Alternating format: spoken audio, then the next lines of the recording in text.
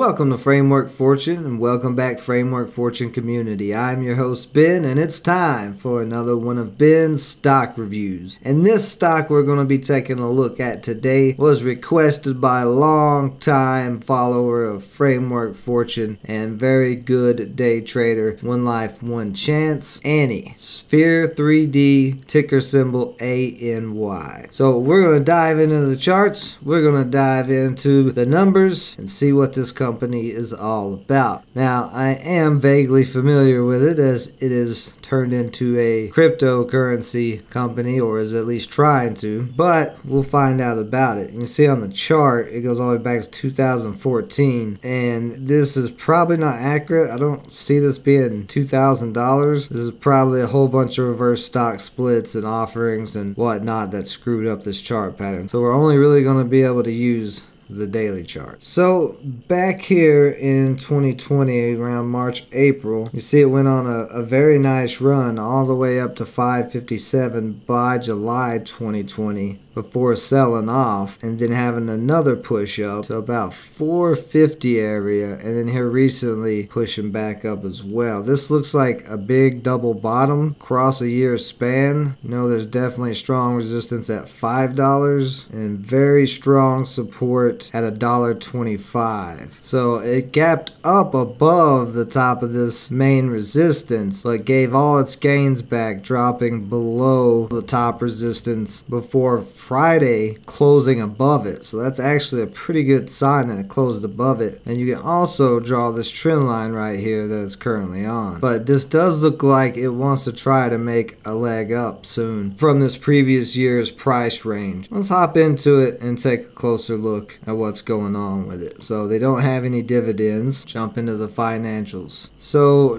the common shares outstanding currently is 19 million. So we're probably looking at a 7 seven to nine million in float for this year.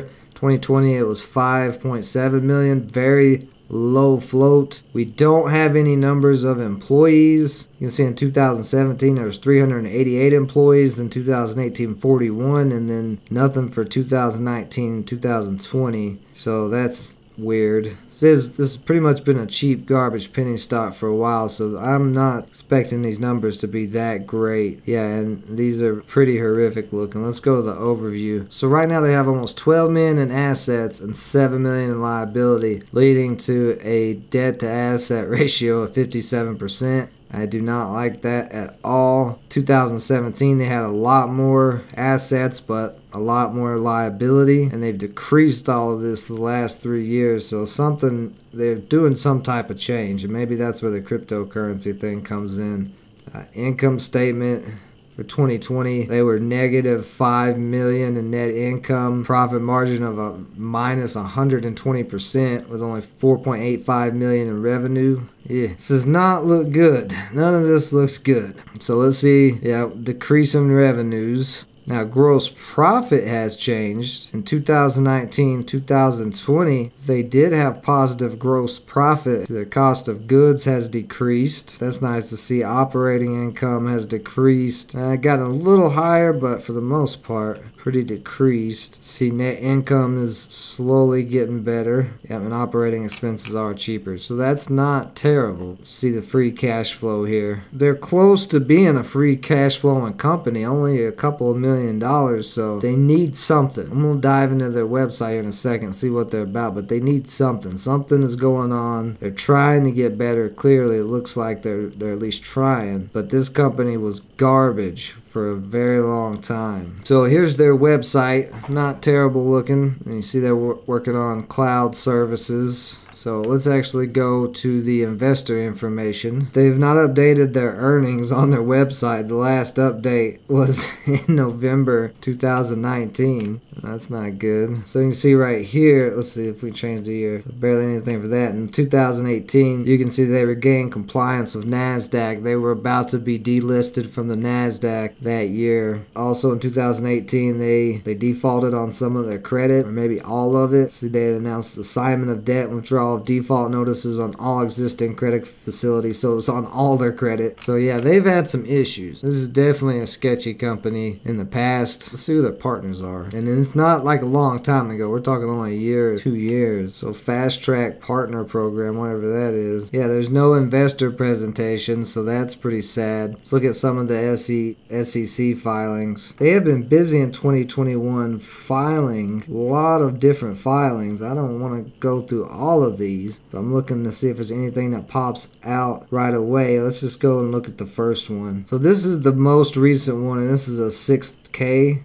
So let's see if there's anything important here. This is a filing for somebody to purchase a bunch of shares, but I'm not seeing who the person is so far. You can see right here, it's the purchase and sale of common shares and warrants, and the the signatures here, the investors are not listed. So let's see if we can find that. Again, not listed. So yeah, you can see right here, this common stock purchase warrant certifies that for value received, and it's blank. This is all blank. Right there again, name of investing entity, blank. Everything blank. So this was another one. Let's take a look at this one. This was on the 26th. Another one of these same filings. I'm going to download and open this one. So they just did a $110 million initial public offering. Okay, I see what's going on here. They're reporting the acquisition of Minority Equality, uh, a company that Sphere has a indirect interest in. And these are going to be listed on the NASDAQ Capital Market trading under the symbol MEOAU. That was on August 26th, so that was this past week. But this is a newly organized blank check company. So this is not a, even a real company. This is a SPAC shell company that Annie has got indirect interest in.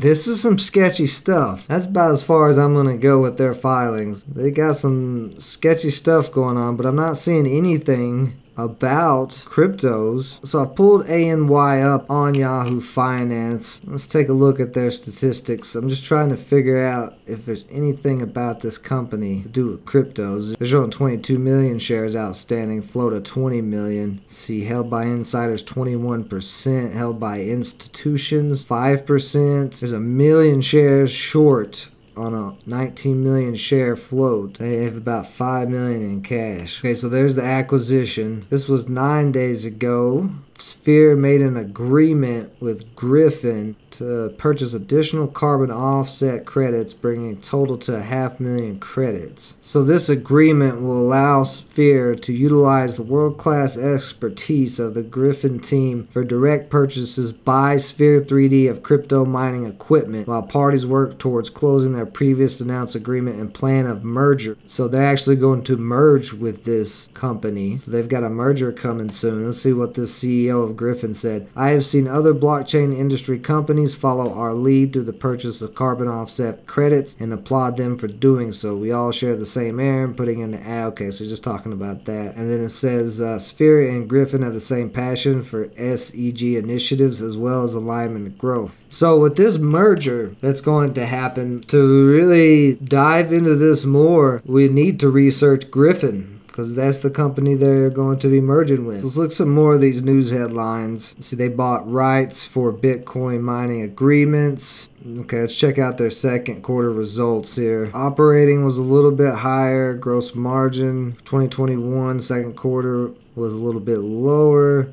Net loss of 2.9 million. They are paying out dividends on preferred shares, but not on the common shares, so that's kind of interesting. They had less revenue than 2020, less gross margin, so not really any good earnings. So, one life for anybody else who's interested in this company long term. I know you were talking about it long term uh, in the live stream last couple of weeks. After the research that I've just done, I'm not sure about this company. They are switching to cryptocurrency mining because they were a trash can company in the past. Now, it doesn't look like the leadership has changed. Maybe it has, maybe it hasn't. I didn't dive that deep in. But them opening that blank check SPAC stock is interesting. And maybe when Annie merges with Gryphon, then they're going to IPO on to that SPAC like we've seen a lot of companies doing. There's a lot of speculation to what could be going on, what could be happening with this company. I mean, they've got their hands in some things, but I don't know. Looking at the numbers and everything, I mean, there's a possibility they start mining cryptocurrencies and start doing really well, like Mara and Riot. But there's also a possibility this could be one big pump and dump scam or scheme to really dump on the shareholders because they're paying their preferred shareholders dividends. The common shareholders, the retail traders or investors, they ain't getting any dividends. So right there is a,